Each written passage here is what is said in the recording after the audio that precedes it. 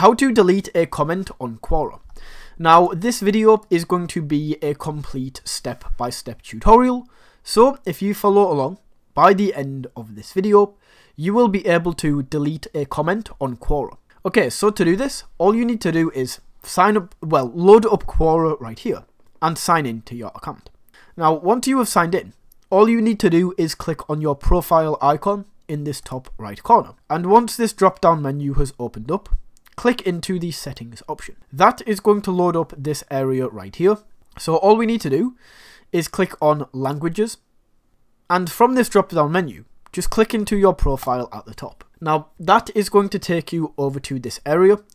So all you need to do to delete a comment is find the comment you would like to delete.